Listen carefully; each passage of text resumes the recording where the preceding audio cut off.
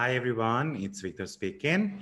And today I am here to speak to you about the weekly forecast, uh, the third week of um, May, which is going to be starting on the 17th. So I'm going to try to show you how the stars might want to guide you this week. Uh, we're going to be speaking about a general influence, but if you would like something more specific about your chart, then probably you should be consulting with a professional astrologer, which also can be mine as well. So you will find my details in the description box.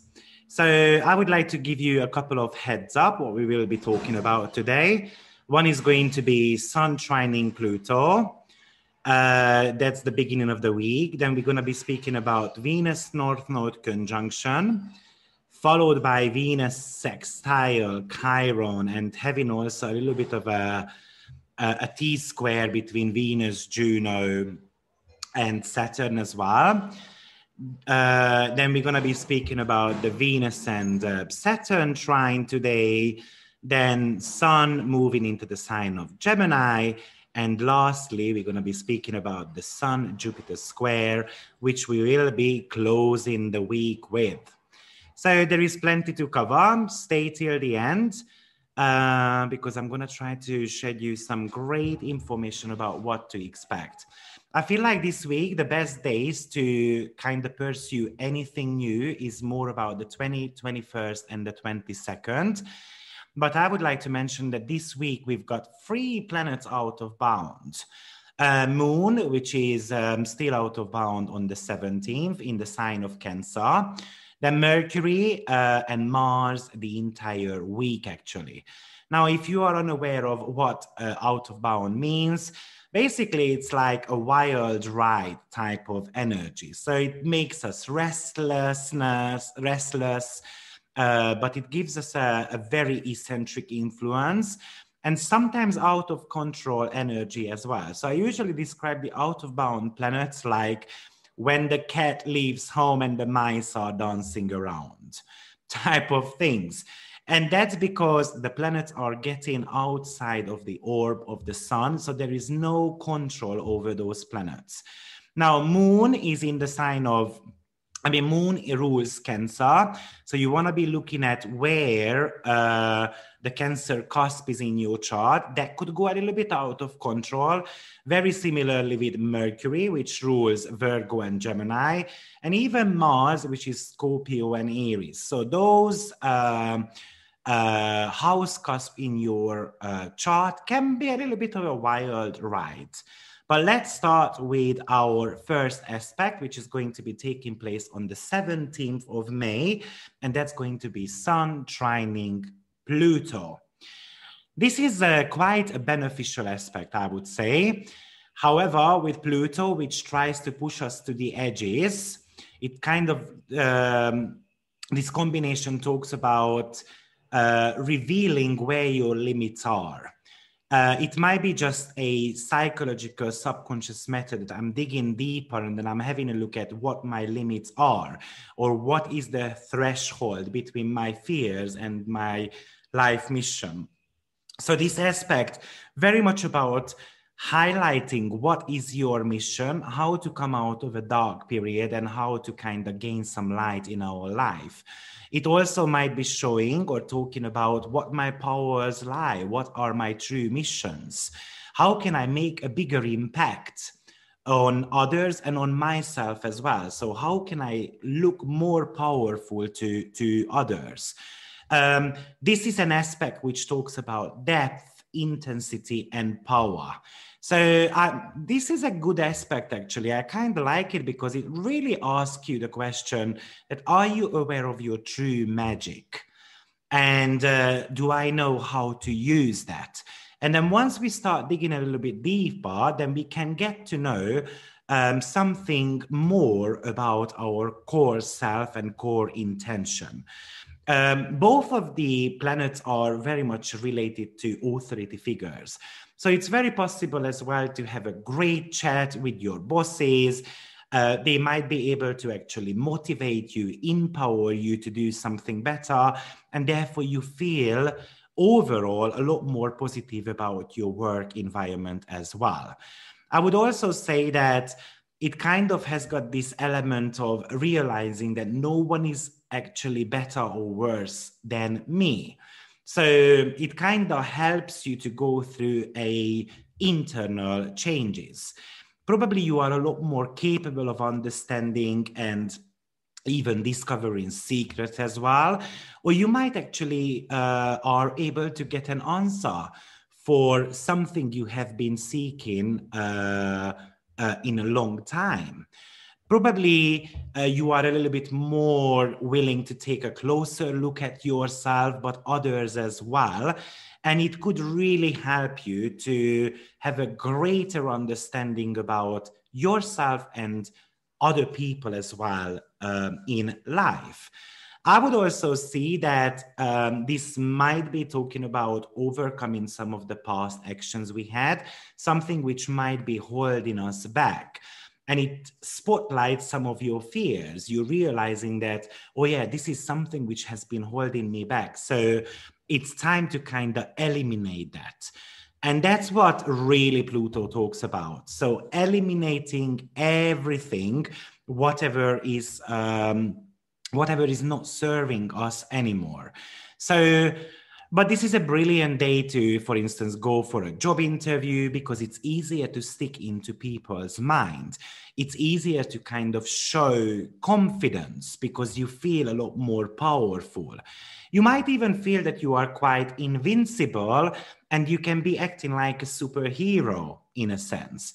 But as I said, Pluto energy always brings around kind of like emptying the bin, taking out the garbage type of energy. So whatever is not needed, I have to eliminate, eliminate that self. So the sun is kind of like highlighting the darker corner of your psyche as well. So it's very good to do some type of research about yourself. Now, the following day, uh, Venus is going to be conjuncting North Node, which is going to be happening on 11 degrees of uh, Gemini. Now, because of this um, uh, Gemini and Venusian energy, it very much talks about connections, the union uh, side of things. So I find pleasure in connecting with people. I want to be making allies with others. I want to build a stronger network for others. Uh, it might be based on some of the common goals and visions which we can be sharing with others. But there is always a silver lining with North Node because it has got that insatiable hunger. So we can have cravings for closeness, we can have cravings to belong to someone, or even we can have cravings to, uh, for sweet things. The whole idea about North Node is that it's very hard to satisfy if it conjunct any planet. So we can start eating a lot more. We can actually kind of not having boundaries when I go outside, for instance, and I forget about social distancing or I just want to be hanging out with pre- uh, friends. Um, this aspect also talks about kind of like finding someone I can rely on to have a quality time with. But um, because of the Gemini energy, which is talking about, you know, which is which loves talking and flirting, we might forget to listen to others. So it's also very important with this aspect that we become more adaptable and we want to be accommodating others as well. So being flexible to kind of create connections to others is possible. Now, North Node is a karmic point in the chart. It's kind of like the shadow part of the moon. So uh, where basically the moon and the sun are crosses path. So it could re and sun and the moon very much about the cosmic union of a man and a woman. So this aspect could really talk about some karmic affairs as well. Meeting someone uh, kind of out of the blue by maybe being with the friends um, in the park and so forth. But at the same time, because of the Gemini uh, quality to it, there must be an element of a balance, what I say and what I'm told as well. So whenever a planet is conjuncting North Node, it's basically creating new karma. And you might actually start noticing more synchronities in the world around you you might um, begin you might begin to see kind of like a clearer picture of your life purpose and your mission as well you might uh, want to be kind of fulfilling a long-term goal or aspiration and this is going to be kind of the start of it so a conjunction is always about a new start so whatever Venus rules in your chart, it might show that it's going to be affecting you in the next nine to 14 months, or even a little bit more. Uh, while Venus is also going to be starting a new cycle with North Node. So you might actually see that people are going to see some changes within yourself. Maybe changes in your behavior or changes around your look as well. So Venus really much talks about the way I look like, the things I like, I, I dislike, and these could go um, kind of, it, these could be very noticeable in your um, uh, behavior. Um, I also would say that when Venus and the North Node are connecting, actually, it's very easy that we get discouraged by minor problems as well. But usually it turns out just great because Venus is usually a benefic planet. And Venus also has got strength, has got some strength as well in the sign of Gemini. So this might be asking you the question, are you investing in, in your beauty? Are you making time for your friends? How do you spend your money? because we can have an insatiable hunger around money as well. And because it's in a mutable sign at the moment, it's more about spending what we need. So imagine that you go to a, um, I don't know, a bookstore, for instance, with Gemini. And uh, instead of uh, buying just one book, I'm going to be pl- buying plenty of them because I also have got some type of cravings go- going on. So there is this hungriness going for possessions because Venus rules Taurus. So, so as I said, Venus does show in your chart how you try, how you tend to be spending your money. You might want to be looking at where Gemini cusp is in your chart. Maybe that's going to be the area of life where you spend a little bit more. But also, Venus is all about spreading love. So it does talk about somehow showing, uh, receiving love, as well as something to do with forgiveness. So this could be a period of time when you actually have to forgive, for instance, a friend of yours or someone in your immediate environment. Or is it just the fact that you're going to have to forgive yourself for something? Uh, or are you just holding on to your possessions and uh, you've got a little bit of a guilt over that that i've spent way too much money so watch out for sweet tooth we can become a lot more flirtatious as well around these time uh, around these times and we can also have a very enhanced senses so maybe when we touch someone we kind of feel a sparkle with that or our smelling skills is just going to be a lot more stronger. So, but at the same time, we might want to be receiving more love. We want more sensuality in, a, in our relationship. And the danger of this aspect is that it's kind of never enough. So there is this give and take. How much love do I get and how much love do I give to my uh, loved ones? Of course, there is also the money aspect of Venus. So it might be also talking about that somehow I'm looking for growing money. And uh, it might be a realization that money doesn't grow on every single tree. So we're going to have to use the Gemini traits, which is all about uh, kind of spotting patterns and planning things out how I can make more money for myself. Now, on the very same day, Venus is actually sextiling Chiron. Um, so I would like to grab the opportunity to speak a little bit more, more about Chiron and Venus aspect because this is very much about healing the heart. And, uh, you know, as I said, Venus in Gemini might tend to be um, spending a little bit more money because that's one of the ways I can actually heal myself. So, um, the Venus Chiron aspect is all about the opportunity to embrace our vulnerability and somehow healing our heart. So Venus is the planet of love, a relationship, your personal values, something like what you like, what you dislike, and what is important to you. Now, Chiron is the wounded healer. And it could show the area of life where we might be broken and kind of where we need to make the biggest transformation. Now, I would like to mention that Chiron is actually between um, Mars and Jupiter. So therefore, Chiron always connects the visible and the invisible forces because Mars is one of the last personal planets. Actually, in astronomy, Mars is not necessarily a personal planet because it's already outside of the orbit of the sun. But in astrology, we tend to be looking at it as a uh, personal planet.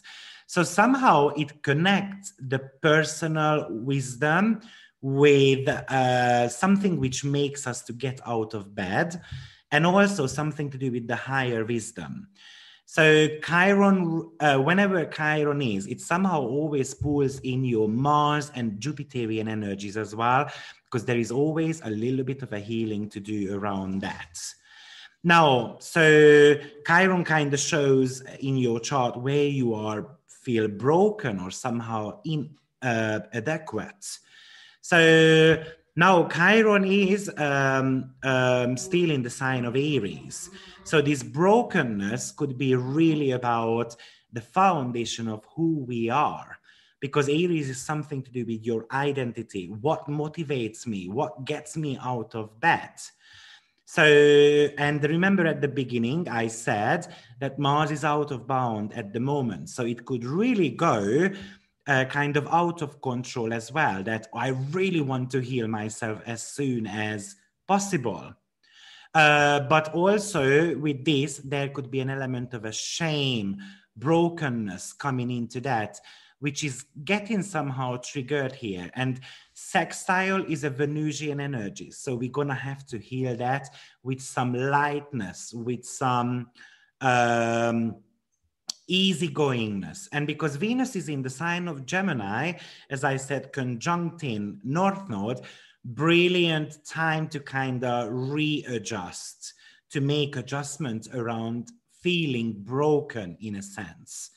So whenever Chiron makes an aspect to a planet, it kind of unlocks the planet's secrets. So it's revealing something which is hidden, overlooked or even misunderstood. So, in what ways do I feel uh, misunderstood or overlooked in my relationship? So, what am I looking over? Overlooking when it comes to earning money or around my self worth. So, Chiron, as I said, is kind of that bridge between the visible and the invisible planets. So, oh, um, sorry, I made a mistake there. Um, um, um, because Chiron is uh, connecting, sorry, the social planets with the trans uh, transpersonal planets. So it's connecting like Saturn and Uranus together. Sorry about that mistake. But anyway, it is still the same. So how am I connecting my personal stuff with the invisible stuff um, in that sense? So Chiron functions kind of like in three ways. So, first of all, we need to kind of, it wants to make us aware of what hurts and it wants to kind of bring the surface to the, uh, uh, wants to bring the problem to the surface. And then Chiron, after that, wants to heal that wound. And that's happening through purging and sometimes crisis situations as well if we are very stubborn of seeing what is going on in the in our life and eventually that chiron transforms the wounds into gift Now, remember that it's connecting Saturn and Uranus together. Saturn in traditional astrology talks about uh, talent. If we work hard for it, then actually we get rewarded. And Uranus is something to do with your unique gifts. But with that Saturnian energy, there is this shyness going on. But with the Uranus energy, we want to reveal that type of um, um, uniqueness, what we've got. So Chiron is somewhere stuck in the middle, which talks about self worth issues, and that comes with some type of emotional maturity. So, with as I said, with Venus conjuncting Chiron is all about healing your heart in one way or another. So, the question you're gonna have to ask yourself is what makes you stop before you actually open your heart to others? Or how am I stopping myself to love or to connect with others? Am I afraid of being loved? Am I actually suffering when someone is trying or when someone is giving me a compliment, for instance? Or in what ways uh, love is taken away from me? So why am I uh, why am I not letting go of something? Because Saturn is something which makes us like a hermit, and Uranus wants to gain its freedom back. So that Chiron again beautifully connects these two energies. So um, yeah, so the process is not necessarily easy, but this time around, uh, actually if you dig deeper and you're gonna look at what's buried inside your inside your heart maybe but why you feel ugly or what are my what what's the issues around beauty and how can i solve that? Well with that sextile element it's all about getting out there socializing with others receiving compliment and then taking them inside my heart now, the following day, Venus is still playing around. So, the third aspect Venus is making, and that's going to be actually a trine to Saturn, which is going to be happening on 13 degree. Now, it's good for those who are in a relationship because this could bring more commitment. We can actually stabilize our relationships. So, especially those ones who are just dating, maybe it's a brilliant day to kind of say that, okay, I want to be in a committed relationship. So the relationship can become more real, more grounded. But we don't just talk about personal relationships, but business partnership as well. So it's a very good day to crystallize any type of agreement with others. Remember, uh, Venus is in Gemini, which, which kind of talks about the formalization, the writing up of a contract. Uh, it's also very possible that you can be meeting someone who is able to give you very great advice. But it's also brilliant to face some of our fears around self worth. And actually, this trine uh, is giving us an opportunity to work on something. It might be just the fact that uh, you speak to a guru and uh, um, that helps you to realize something within yourself. So, but also, uh, Saturn might say that we're going to have to be a little bit more careful about our financials and we're going to have to give a little bit more structure to it. Saturn rules all about a all about structure, building something up from scratch. So it's also very good um, day to make some commitment around your food intake as well. But of course, because Venus is in the sign of Gemini, it's all about collecting some data before we make any type of commitment. So Saturn always tells you to be a little bit more cautious, look at the technicality part of the agreement you are trying to make with others. Uh, also, this is a brilliant aspect to make long term investments. Uh, it might not be looking that great at the moment, but in the long run, because with Saturn, we always build slowly and steadily. So, and then uh, even from those long term investments, your relationship can also have a sensible benefit from it. Now, I would also say that um, um, it's very, very possible that you want to be or you are gaining some type of ideas around uh, how to build on the future. So it's very much about creating something uh, for the long term. It might be something which I have desired for a very long time. So I want to build on those long term goals. Also, you might become a little bit more sometimes impersonal or a little bit more conservative approach or even classical approach to things because Saturn is more about modesty. So Venus rules your personal style. You might notice that actually you gonna start wearing something around black leather type of things or something more on the darker color side as well.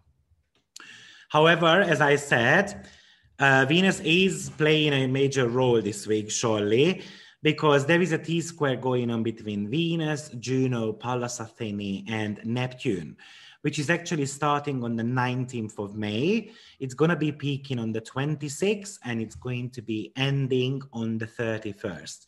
Now, a T square is when two planets are in opposition to each other, and then those two planets are also squaring another one.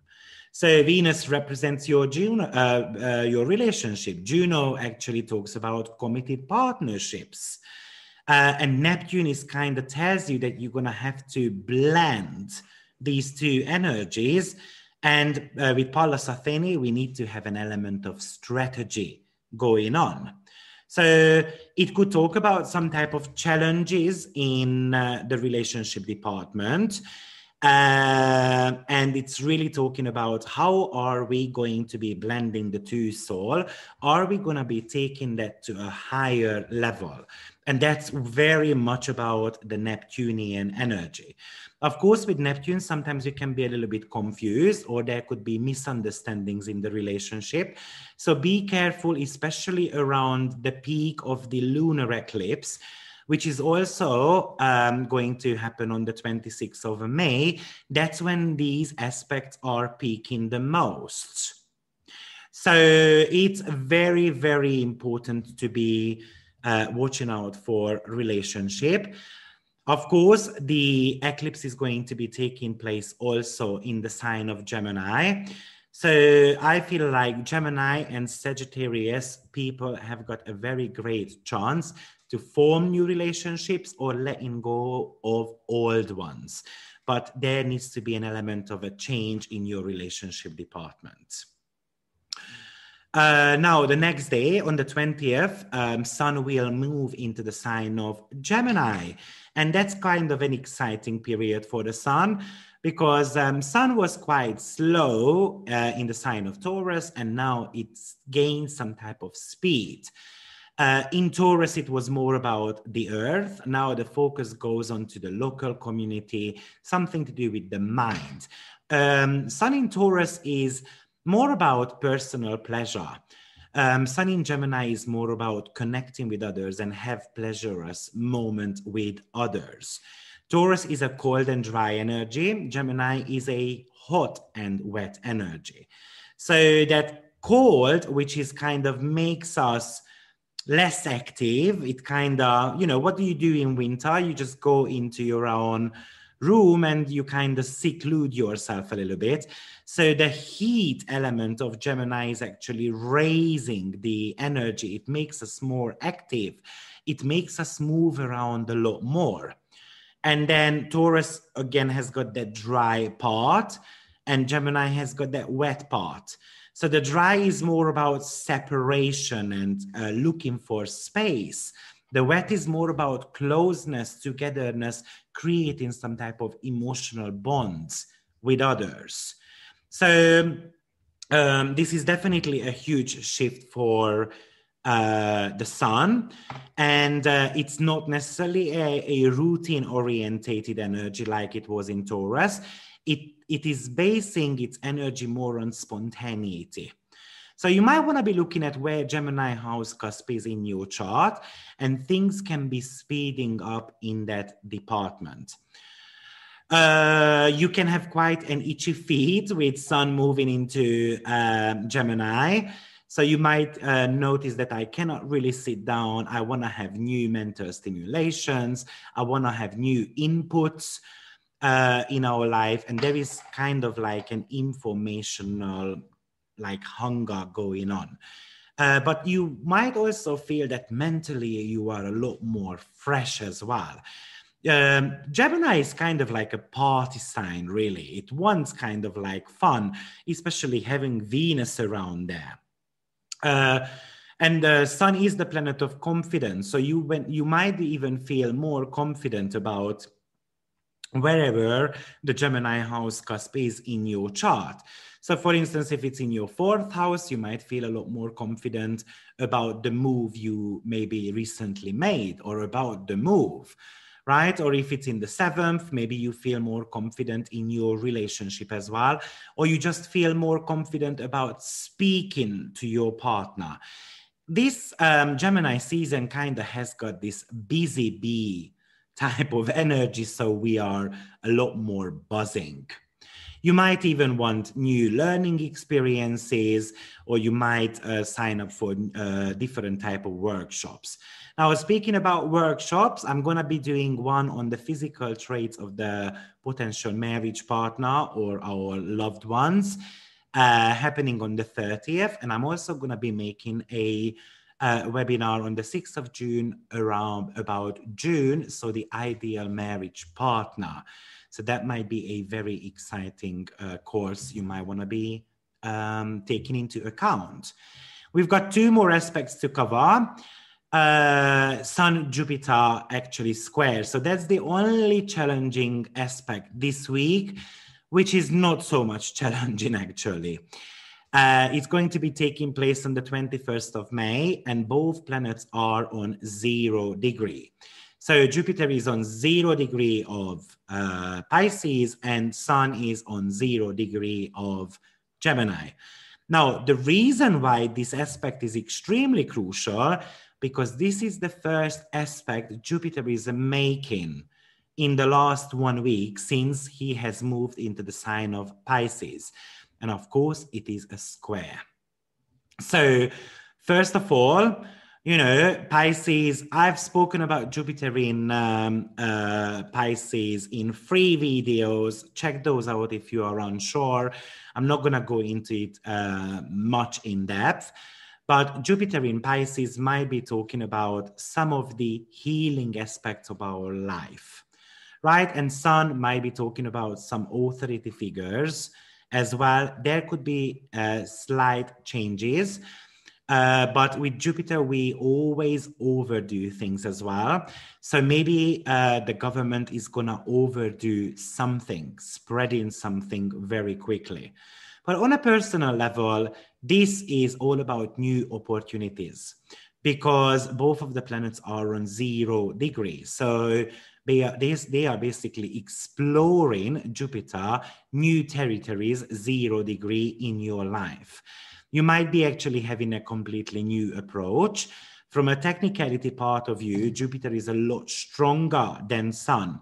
So we always have to be uh, a little bit cautious with that Jupiter, which is all about overdoing things. So we can overestimate our ability we can overstretch ourselves, we can overpromise and then underdeliver um, eventually. You can be way uh, over inspired as well. And, um, you know, there is this saying in Hungarian stretch as long as your blanket touches. So, meaning that with this aspect, we always need to know our limits and Jupiter, especially in Pisces, ignores any type of boundaries. So we might feel invincible because we are very optimistic. And eventually it can lead to disappointment. It might not disappoint you, but it can disappoint others. So, and then the Sun in Gemini says, which is actually a little bit more, it's weaker than Jupiter. And this is what we call in uh, Hellenistic astrology as an overcoming. So the sun needs to be overcome or overcome, meaning that we need to overcome not ignoring the facts. Gemini. The facts and the data needs to be looked at before you make any type of decision. So, are you someone who is just going with the flow, or are you someone who is going to be focusing and collecting data before actually it makes any type of decision? Um, so the Sun and uh, Jupiter square always has got this double-edged sword impact.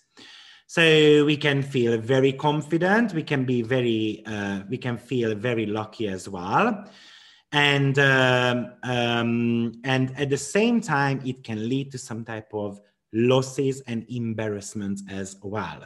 So there is always an element of respect moderation which is going to take you further. So to close this aspect off it's all about standing back a little bit and uh, being um, more considerate about my next step and um, of course, uh, Sun also represents your ego, and whatever Jupiter touches, it expands it. So we can experience that people around us might become a little bit more cocky, or we might become a little bit cocky as well. And the last aspect of the week is Mercury square Neptune, which is going to be happening on the 22nd of May on 22 degree so loads of 22s. And Mercury has been in its shadow period since the 15th. Now, I'm going to make a, v- a separate video about the Mercury retrograde, and I'm going to be speaking a, a little bit more about the technicality part of these shadow periods as well. Because in my astrological experience, the Mercury shadow period is a lot more powerful than the um, retrograde period itself. And one of the reasons is because Mercury uh, is going to be meeting Neptune on the 22nd, but Mercury is, this is only the first hit. Mercury is going to be meeting Neptune three times. So once on the 22nd of May, then followed by the 5th of June, and lastly on the 6th of July as well. So this aspect brings plenty of confusion, miscommunication, misunderstandings. Uh, I'm not a big fan of saying that don't sign contracts during Mercury retrograde period. However, this time around, I would say because it's easy to miss details. Uh, it, this aspect might be telling you that it's time to have a little bit of a mental break kind of like tuning out of things. Maybe you want to be switching off your uh, social media platforms, your phone, and then just try to meditate, especially around those three days. I usually describe this aspect like trying to drive uh, uh, in a um, uh, in fog, or I usually see that you are not able to see the forest from the tree.